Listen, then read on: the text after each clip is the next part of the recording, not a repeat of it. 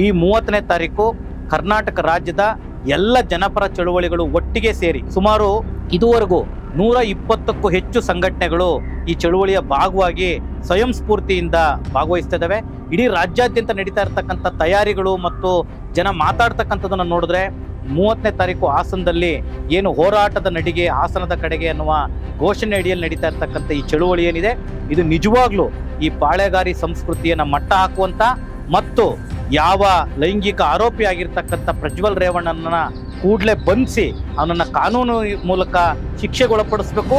ಹಾಸನದ ಸಂಸದ ಪ್ರಜ್ವಲ್ ರೇವಣ್ಣ ನಡೆಸಿರ್ತಕ್ಕಂಥ ಅತ್ಯಂತ ಹೀನಾಯವಾಗಿರ್ತಕ್ಕಂಥ ಪೆಂಡ್ರೈವ್ ಲೈಂಗಿಕ ದೌರ್ಜನ್ಯ ಹಗರಣ ಏನಿದೆ, ಇದು ಕೇವಲ ಹಾಸನದವ್ರು ಮಾತ್ರ ಅಲ್ಲ, ರಾಜ್ಯ, ಇಡೀ ದೇಶ ಮತ್ತು ನಾಗರಿಕ ಸಮಾಜವೇ ತಲೆ ತಗ್ಗಿಸುವಂತ ಕೃತ್ಯ ಇದಾಗಿದೆ. ಇವತ್ತು ಮಹಿಳೆಯರನ್ನ ತಮ್ಮ ಲಾಭಕ್ಕಾಗಿ ಮತ್ತು ವೈಯಕ್ತಿಕ ಲೈಂಗಿಕ ತೃಷಿಯನ್ನು ತೀರಿಸ್ಕೊಳ್ಳೋದಕ್ಕೋಸ್ಕರ ಈ ರೀತಿಯಾಗಿ ಹೀನಾಯವಾಗಿ ಬಳಸ್ಕೊಂಡಿರ್ತಕ್ಕಂಥದ್ದೇನಿದೆ? ಇದು ಮಹಿಳೆಯರ ಘನತೆಯನ್ನ ಕುಗ್ಗಿಸ್ತಕ್ಕಂಥ ಕೆಲಸ.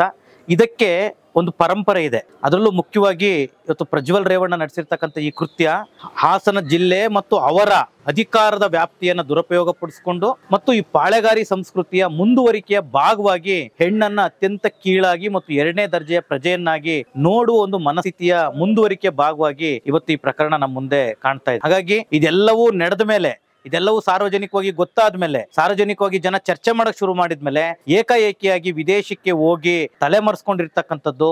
ಇದು ಕೂಡ ಇವತ್ತು ಅವರು ಯಾವುದೇ ರೀತಿಯ ವಿಚಾರಣೆಗೆ ಒಳಪಡದೇ ಇರತಕ್ಕಂಥದ್ದು ಮತ್ತು ಎಸ್ ಯಾವ ಪ್ರಶ್ನೆಗಳಿಗೂ ಅವರು ಇವತ್ತು ಉತ್ತರ ಕೊಡದೇ ಇರತಕ್ಕಂಥದ್ದು ಏನು ತೋರಿಸ್ತಾ ಇದೆ ಅಂತ ಹೇಳಿದ್ರೆ, ಅವರು ನಿಜವಾಗ್ಲೂ ತಪ್ಪು ಮಾಡಿದ್ದಾರೆ ಅನ್ನೋದನ್ನ ಇದು ಬಹಳ ಸ್ಪಷ್ಟವಾಗಿ ನಮ್ಮ ಮುಂದೆ ತೋರಿಸ್ತಾ ಇದೆ. ಇವತ್ತು ಕೇವಲ ಈ ಪ್ರಕರಣದಲ್ಲಿ ಸಂತ್ರಸ್ತರಾಗಿರೋರು ಮಾತ್ರ ಅಲ್ಲ ಈ ಘಟನೆ ಬಂದ ನಂತರ, ಈ ಘಟನೆ ಸಮಾಜದಲ್ಲಿ ಬೆಳಕಿಗೆ ಬಂದ ನಂತರ, ಇಡೀ ಸಮಾಜದ ಹೆಣ್ಣು ಮಕ್ಕಳನ್ನ ಒಂದ್ ರೀತಿಯ ಬೇರೆದೇ ರೀತಿಯಲ್ಲಿ ನೋಡ್ತಕ್ಕಂತ ರೀತಿಯಲ್ಲಿ ಇವತ್ತು ಸಮಾಜ ಮಾತಾಡಕ್ ಶುರು ಮಾಡಿದೆ. ಒಂದ್ ಸಣ್ಣ ಉದಾಹರಣೆ ಕೊಡ್ಬೇಕು ಅಂತ ಹೇಳಿದ್ರೆ, ಹಾಸನದ ಹೆಣ್ಣು ಮಕ್ಕಳು ಅಂತ ಹೇಳಿದ್ರೆ, ಮದುವೆನೇ ಆಗಬಾರ್ದು ಅನ್ನೋಷ್ಟು ಮಟ್ಟಕ್ಕೆ ಇವತ್ತು ಮದುವೆಗಳು ಮುರಿದು ಬೀಳ್ತಕ್ಕಂತ ಮಟ್ಟಕ್ಕೆ ಇವತ್ತು ಈ ಸಮಾಜ ಹೋಗ್ತಾ ಇದೆ. ಇಂತಹ ಅತ್ಯಂತ ಕೀಳು ಅಭಿರುಚಿಯ ಆಲೋಚನೆಯನ್ನ, ಆ ಕ್ರಮವನ್ನು ಕೂಡ ನಾವು ಹಿಮ್ಮೆಟ್ಟಿಸಬೇಕಾಗಿದೆ. ಈ ಪಾಳೆಗಾರಿ ಸಂಸ್ಕೃತಿಯನ್ನು ಹಿಮ್ಮೆಟ್ಟಿಸೋದ್ರ ಮೂಲಕ ಈ ರೀತಿಯ ಘಟನೆಗಳಿಗೆ ಒಂದು ಅಂತ್ಯವನ್ನು ಆಡಿ ಮಹಿಳೆಯರ ಘನತೆಯನ್ನು ಎತ್ತಿ ಹಿಡಿಬೇಕು ಅಂತೇಳಿ ಇಡೀ ರಾಜ್ಯಾದ್ಯಂತ ದೊಡ್ಡ ಸಂಖ್ಯೆಯಲ್ಲಿ ಎಲ್ಲ ಸಂಘಟನೆಗಳ ಕಾರ್ಯಕರ್ತರು ಹಾಸನಕ್ಕೆ ಬರ್ತಾ ಇದ್ದಾರೆ. ಸಂಸದ ರೇವಣ್ಣ, ಪ್ರಜ್ವಲ್ ರೇವಣ್ಣ ಈ ರೀತಿ ಹಗರಣಗಳಲ್ಲಿ ಭಾಗಿಯಾಗಿದ್ದಾನೆ ಅಂತ ಕಳೆದ ಒಂದೆರಡು ವರ್ಷಗಳಿಂದ ಬಿ ಜೆ ಮುಖಂಡ ದೇವರಾಜೇಗೌಡ ಬೆದರಿಕೆ ಆಗ್ತಲೇ ಬಂದಿದ್ದ. ಈ ಒಂದು ಬಯಲು ಮಾಡ್ತೀನಿ, ಈ ಒಂದು ಬಯಲು ಮಾಡ್ತೀನಿ ಅಂತ. ಈ ಹಿನ್ನೆಲೆ ಇದ್ದ ಪಕ್ಷದ ಬಿ ಜೆ ಪಿ ಪಕ್ಷದ ರಾಜ್ಯ ಮತ್ತು ರಾಷ್ಟ್ರ ಅಧ್ಯಕ್ಷರಿಗೆ ಪತ್ರ ಬರೆದಿದ್ರು, ಪ್ರಧಾನಮಂತ್ರಿ ನರೇಂದ್ರ ಮೋದಿ ಅವರಿಗೆ ಪತ್ರ ಬರೆದಿದ್ರು ಬಿ ಜೆ ಪಿ ಮತ್ತು ಎ, ಜೆ ಡಿ ಎಸ್ ಎರಡೂ ಎನ್ ಡಿ ಎ ಪಕ್ಷಗಳಿಗೆ ಪ್ರಜ್ವಲ್ ರೇವಣ್ಣನನ್ನ ಅಭ್ಯರ್ಥಿ ಮಾಡೋದ್ರಲ್ಲಿ ಯಾವುದೇ ಒಂದು ಹಿಂಜರಿಕೆ ಉಂಟಾಗಲಿಲ್ಲ ಅಂತಕ್ಕಂಥದ್ದು ಅತ್ಯಂತ ಕಳವಳಕಾರಿಯ ಸಂಗತಿ. ಮಹಿಳೆ ಒಂದು ರಾಜಕೀಯದ ಆಟದ ಒಂದು ವಸ್ತು ಅಲ್ಲ. ಮಹಿಳೆಯನ್ನ ಆರೋಪ ಮತ್ತು ಪ್ರತಿಯಾರೋಪಕ್ಕೆ ಬಳಸ್ಕೊಳ್ತಕ್ಕಂಥದ್ದು ಒಪ್ಪತಕ್ಕಂಥದ್ದಲ್ಲ. ಭಾಳ ಮುಖ್ಯವಾಗಿ ಸಾರ್ವಜನಿಕಗೊಂಡಿರ್ತಕ್ಕಂಥ, ಅಂತರ್ಜಾಲದಲ್ಲಿ ಅಸ್ತಿತ್ವದಲ್ಲಿರ್ತಕ್ಕಂಥ, ಈ ಹಗರಣಕ್ಕೆ ಸಂಬಂಧಪಟ್ಟ ಎಲ್ಲ ವಿಡಿಯೋಗಳನ್ನು ಶಾಶ್ವತವಾಗಿ ಡಿಲೀಟ್ ಮಾಡಬೇಕು. ಈ ವಿಡಿಯೋನ ಹಂಚೋದ್ರಲ್ಲಿ ಮತ್ತು ಶೇಖರಣೆ ಮಾಡಿ ಇಟ್ಕೊಳ್ಳೋದ್ರಲ್ಲಿ ಯಾರೆಲ್ಲ ಭಾಗಿಯಾಗಿದ್ದಾರೋ ಅವರೆಲ್ಲರನ್ನೂ ಕೂಡ ಕಠಿಣವಾದ ಶಿಕ್ಷೆಗೆ ಒಳಪಡಿಸಬೇಕು. ಈ ಹಗರಣದ ಪ್ರಮುಖ ಮತ್ತು ಪ್ರಧಾನ ಆರೋಪಿ ಪ್ರಜ್ವಲ್ ರೇವಣ್ಣನನ್ನ ಕೂಡಲೇ ಬಂಧಿಸಬೇಕು. ಮಹಿಳೆಯರ ಆತ್ಮಸ್ಥೈರ್ಯ ಮತ್ತು ಆತ್ಮವಿಶ್ವಾಸ ಮತ್ತು ಘನತೆಯನ್ನು ಎತ್ತಿ ಹಿಡಿಯುವಂಥ ಕೆಲಸಗಳಲ್ಲಿ ಎಲ್ಲರೂ ಕೂಡ ನಾಗರಿಕರು ತಮ್ಮ ಪಾತ್ರವನ್ನು ನಿರ್ವಹಿಸಬೇಕು. ಇದೇ ಮೇ ಮೂವತ್ತನೇ ತಾರೀಕು ಹಾಸನ ಚಲೋ ಏನಿದೆ, ಇದು ನಾಡಿನ ಮಹಿಳೆಯರ ಘನತೆ ಮತ್ತು ಗೌರವವನ್ನು ಎತ್ತಿ ಹಿಡಿತಕ್ಕಂಥ ಒಂದು ಚಳುವಳಿ, ಹೋರಾಟ. ಆರೋಪಿ ಸಂಸದನಿಗೆ ಅತ್ಯಂತ ಕಠಿಣವಾದ ಶಿಕ್ಷೆ ಆಗಬೇಕು. ಹಾಸನದಲ್ಲಿ ನಡೆದಂಥ ಅಮಾನವೀಯ ಅನಾಗರಿಕ, ಲೈಂಗಿಕ ದೌರ್ಜನ್ಯ ದಬ್ಬಾಳಿಕೆಗಳನ್ನು ಖಂಡಿಸಿ ನಡೆಯುವಂಥ ಹಾಸನ್ ಚಲೋ ಹೋರಾಟಕ್ಕೆ ಕರ್ನಾಟಕ ಪ್ರಾಂತ ರೈತ ಸಂಘ ಮತ್ತು ಸಂಯುಕ್ತ ಹೋರಾಟ ಕರ್ನಾಟಕದ ಎಲ್ಲ ಭಾಗಿದಾರಿ ಸಂಘಟನೆಗಳು ದೊಡ್ಡ ರೀತಿಯಲ್ಲಿ ಭಾಗವಹಿಸ್ತಾ ಇದ್ದಾವೆ. ಭಾರಿ ಮುಖ್ಯವಾಗಿ ಹಾಸನದಲ್ಲಿ ಲೋಕಸಭಾ ಸದಸ್ಯರಾಗಿರುವಂಥ ಮನುಷ್ಯ ಮಾಡಿರುವಂಥ ಲೈಂಗಿಕ ದೌರ್ಜನ್ಯ ದಬ್ಬಾಳಿಕೆಗಳ ಆರೋಪ ಇವತ್ತೇನು ಕೇಳಿ ಬಂದಿದೆ ಇದು ಇಡೀ ನಾಗರಿಕ ಸಮಾಜ ತಲೆ ತಗ್ಗಿಸುವಂತಹ ಒಂದು ಒಂದು ಘಟನೆ ಅಂತೇಳಿ ನಾನು ಭಾವಿಸ್ತೇನೆ.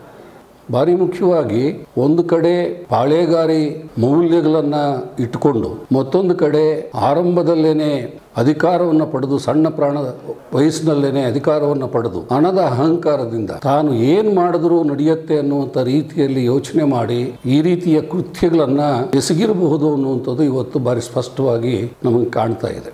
ಒಂದು ಕಡೆ ಪಾಳೆಗಾರಿ ಶಕ್ತಿಗಳು, ಇನ್ನೊಂದು ಕಡೆ ಕಾರ್ಪೊರೇಟ್ ಹಣ ಅಧಿಕಾರ ಇವು ಸೇರಿಕೊಂಡು ಇವತ್ತು ಇಂಥ ಅಮಾನವೀಯ ಅನಾಗರಿಕ ಘಟನೆ ನಡೆದಿದೆ. ಇದನ್ನ ನಾವು ಉಗ್ರವಾಗಿ ಖಂಡಿಸೋದು ಮಾತ್ರ ಅಲ್ಲ, ಯಾರು ಸಂತ್ರಸ್ತರು ಇದರಿಂದ ನಷ್ಟಕ್ಕೆ, ಅಪಮಾನಕ್ಕೆ ಒಳಗಾಗಿದ್ದಾರೆ, ಅವರಿಗೆ ನ್ಯಾಯ ಕೊಡಿಸುವಂತ ಕೆಲಸವನ್ನ ಮಾಡಬೇಕಾಗಿದೆ. ಹಾಸನದಲ್ಲಿ ನಡೆದಂತ ಪೆನ್ ಡ್ರೈವ್ ಪ್ರಕರಣದ ಬಗ್ಗೆ ನಾವೆಲ್ಲ ಕೂಡ ಯೋಚನೆ ಮಾಡಬೇಕಾಗಿದೆ. ಇದನ್ನ ಮಾಡಿದಂತ ವ್ಯಕ್ತಿ ಯಾರು? ಈ ದೇಶದ ಮಾಜಿ ಪ್ರಧಾನಿಗಳ ಮೊಮ್ಮಗ, ಈ ರಾಜ್ಯದ ಮುಖ್ಯಮಂತ್ರಿಗಳ ಮಗ, ಅಣ್ಣನ ಮಗ ಅಥವಾ ತಮ್ಮನ ಮಗ. ಇವತ್ತಿನ ದಿನ ಇಡೀ ದೇಶ ನೋಡ್ತಾ ಇದೆ, ಹಾಸನದಲ್ಲಿ ನಡೆದಂತ ಒಂದು ಘಟನೆಯನ್ನು ನಿಜವಾಗ್ಲೂ ಕೂಡ ನಮ್ಮ ದೇಶದಲ್ಲಿ ಹೆಣ್ಣನ್ನ ತಾಯಿಗೆ ಸಮಾನ, ಭಾರತ ಮಾತೆ, ಕನ್ನಡ ಮಾತೆ ಅಂತ ಹೇಳುವಂಥ ನಾವು ಈ ಒಂದು ಪ್ರಕರಣದಿಂದಾಗಿ ಇಡೀ ದೇಶದಲ್ಲಿ ಭಾರತದ ಬಗ್ಗೆ ಒಂದು ಕೆಟ್ಟ ಕಪ್ಪು ಚುಕ್ಕೆ ಹಾಗೆ ಕಾಣುವಂಥ ಒಂದು ಸಂಸ್ಕೃತಿ ಎದ್ದು ಕಾಣ್ತಾ ಇದೆ ಅನ್ನೋದನ್ನು ನಾವೆಲ್ಲ ಕೂಡ ಯೋಚನೆ ಮಾಡಬೇಕಾಗಿದೆ. ಹೆಣ್ಣಿಗೆ ನಮ್ಮ ದೇಶದಲ್ಲಿ ಸ್ವತಂತ್ರ ಇದೆಯಾ ಅನ್ನೋದು ಕೂಡ ಹೆಣ್ಣನ್ನ ಇವತ್ತಿನ ದಿನ ಒಂದು ಜೀತದಾಳಾಗಿ ತಮ್ಮ ಭೋಗದ ವಸ್ತುವನ್ನಾಗಿ ಯಾವ ರೀತಿ ಬಳಸ್ಕೊಂಡು ನಮಗೆ ಸ್ವತಂತ್ರ ಬಂದಿದೆಯಾ ಅನ್ನೋದು ಕೂಡ.